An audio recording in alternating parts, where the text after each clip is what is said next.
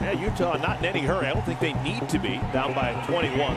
Can't afford to stub their toe here. It's a touchdown or bust. Jordan, the tailback in the game. He's got it. Jordan, touchdown! And here come the Utes. And around.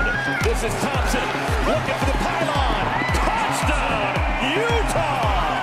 Oh, Jordan has the first down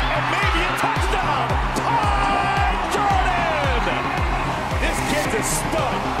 Jordan skips, dunks, touchdown!